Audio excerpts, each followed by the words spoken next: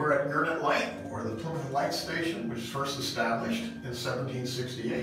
And we're looking where the land extends down to Saquish, uh, a summer village that has about 800 houses.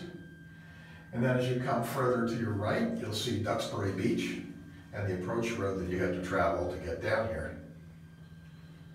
We're actually on Coast Guard land that owns the top of the point, but Project Gurnet and Bug Lights is a volunteer group that takes care of it and maintains all the property out here except for the light, the foghorn, and the batteries.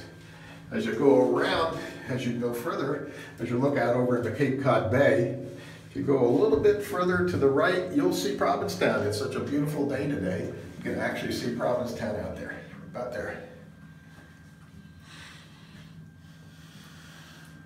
Below us is Fort Andrew, originally called Fort Gurnet. There's been a fort out here since the Revolution. And during the War of 1814, we actually engaged two British frigates. You see the red marker here. It's to make the light red in a danger zone. And this is for uh, Mary Ann rocks, which are semi-submerged.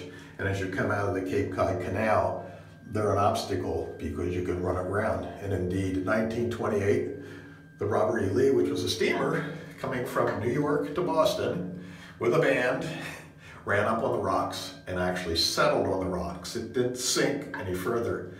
But in the Coast Guard responding to it, the life-saving service, three uh, life-saving people from Manomet Point Station, as they were coming ashore, they would boat over and two of them died uh, for that particular case. So it's always a red sector on the maps, it'll be as a red sector.